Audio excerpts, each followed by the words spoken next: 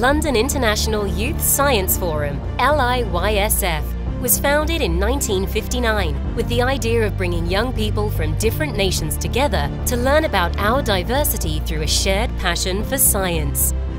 We believe science is the intellectual and practical pursuit to understand the structure and behavior of the natural and physical world by experiment and observation.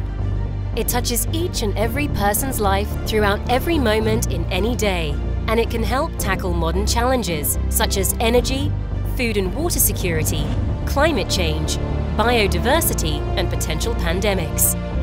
In this digital age, the importance of face-to-face contact is critical, not only to fully understand the principles, but also perspectives, cultures and attitudes.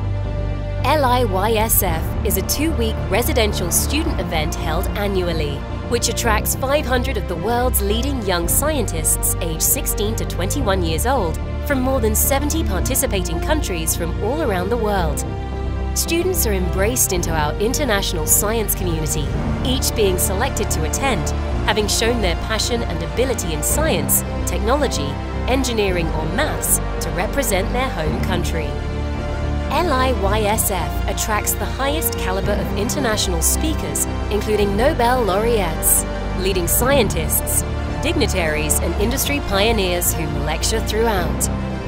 LIYSF is held at Imperial College London, with day visits to prestigious UK research centres and universities, including Oxford and Cambridge University departments, and leading industrial sites such as Rolls-Royce, Airbus and government facilities.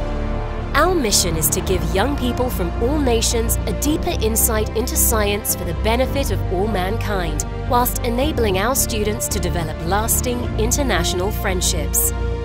This is LIYSF.